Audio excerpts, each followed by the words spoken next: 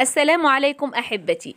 اليوم النشاط الأخير بالنسبة للرقم أربعة وكالعادة سيكون نشاط تهيئة الكتابة سوف نقوم بلصق رقم أربعة على ورق كرتون. استعملت كالعادة ورق الفوم اللامع لتشكيل رقم أربعة.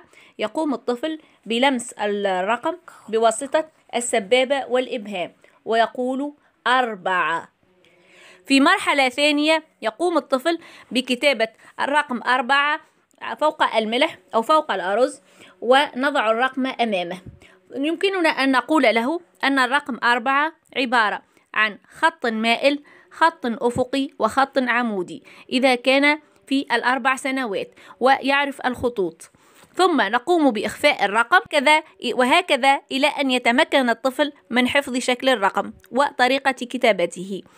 ملتقانا إن شاء الله في أنشطة الرقم خمسة. شكرا لكم والسلام عليكم.